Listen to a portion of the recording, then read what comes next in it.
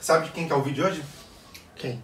Cruella Cruel. Tem que dançar. Eu tô dançando. Cruella, cruel. Não, não é ela que não é nessa música que eles dançam, é quando os cachorrinhos nascem.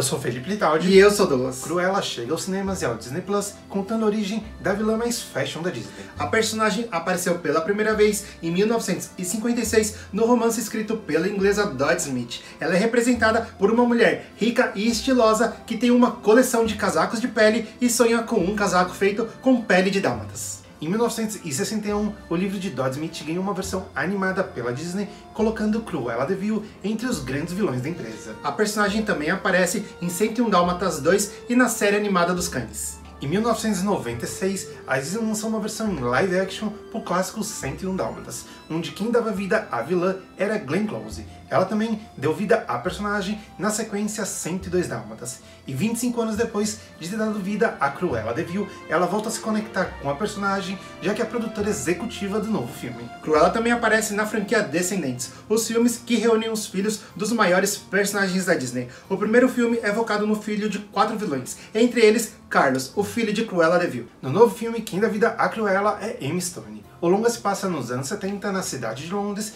muito antes dos acontecimentos de 101 Dálmatas. Aqui a gente conhece Stella, uma jovem criativa que tem como objetivo ficar conhecida por seus designs. Ela faz amizade com dois jovens ladrões que se interessam pelo lado rebelde de Stella. Ela também chama a atenção da baronesa Van Helmont, um ícone da moda vivido por Emma Thompson. A relação das duas desencadeia uma série de ações que faz com que Stella assuma o seu lado vingativo e incorpore Cruella. Inspirado na elegante Cruella em sua paixões por pintas, no vídeo de hoje a gente faz uma cheesecake de óleo. Para a massa da cheesecake, a gente começa triturando 420 gramas de biscoito negresco. Você pode utilizar um processador, um liquidificador ou triturar o biscoito na mão.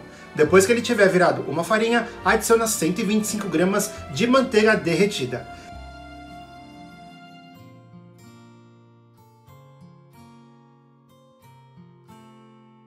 Quando tiver tudo incorporado, coloque em uma assadeira de 20 centímetros que a gente forrou com papel manteiga. Aperta a massa no fundo da assadeira utilizando um copo e aproveita para subir a massa para as laterais da assadeira. Leva essa massa para o congelador enquanto a gente faz o creme da cheesecake. Para o creme, a gente bate 600 gramas de cream cheese até que ele fique liso. Depois disso, a gente adiciona 3 quartos de xícara de açúcar, 2 colheres de sopa de farinha de trigo, 1 colher de sopa de essência de baunilha, 2 ovos,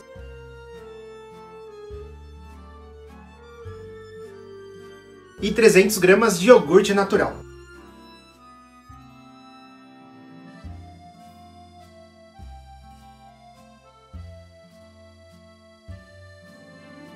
A gente despeja esse creme na massa em três partes, intercalando com camadas de biscoito.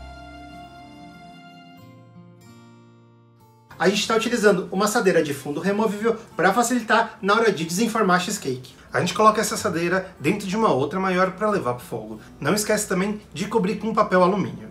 Para assar cheesecake, a gente coloca ela em forno pré-aquecido a 220 graus por 20 minutos. Depois disso, diminui a temperatura para 160 e deixa ela assar por mais uma hora.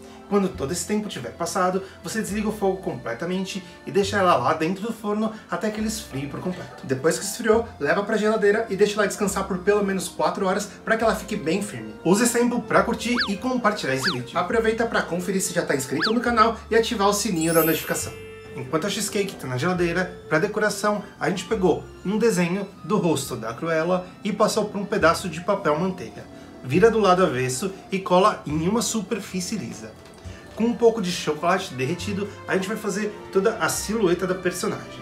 A gente tingiu um pouco de chocolate branco com corante alimentício para chocolate na cor vermelha e fez os lábios da personagem. Um pouco de chocolate tingido de verde para os brincos. Para os cabelos, a gente fez chocolate tingido de preto e branco. E não esquece que o cabelo preto fica do lado esquerdo quando você olha para a personagem e o branco para o lado direito. Para o rosto dela, a gente tingiu o chocolate um pouco de marrom, um pouco de rosa e um pouco de amarelo até chegar na tonalidade da pele da Cruella. Deixe o chocolate esfriar completamente em temperatura ambiente fora da geladeira. Como a Cruella não vive só de pelos, ela também tem uma icônica bolsa de penas. Aproveita o chocolate que sobrou do cabelo da Cruella e faz as penas com a ponta preta e o restante branco.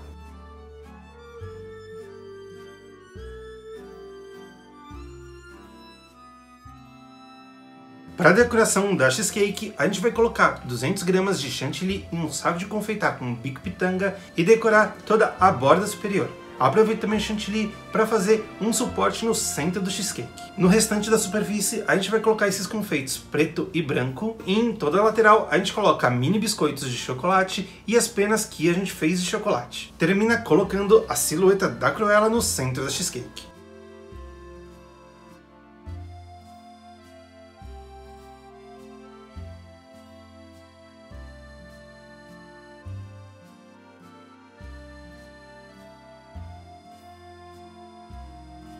E essa foi a nossa cheesecake inspirada em Cruella de Vil. Se você gostou do vídeo, dá o like embaixo, compartilha nas redes sociais e não esquece de se inscrever aqui no canal. Se você quiser ver outras receitas inspiradas no mundo de Disney, aqui em cima vai ter uma playlist. E se você quiser ver alguma outra receita aqui por aqui, deixa aqui embaixo nos comentários. Se você fizer essa cheesecake, tira uma foto, posta e marca a gente pra gente ver. A gente se vê na próxima. Tchau!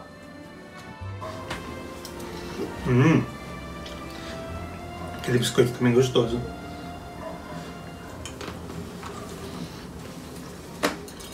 O biscoito ele fica mole, fica parecendo um bolo.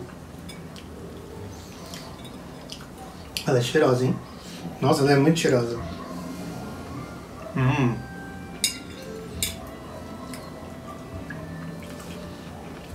Hum. Não é doce, porque o biscoito já é magrinho. O recheio é azedinho. Hum, nossa, é muito bom. Você acha que a Cruella vai gostar? Ela. Mais do que um casaco de pele? Aí você tá oferecendo amizade com a Cruella.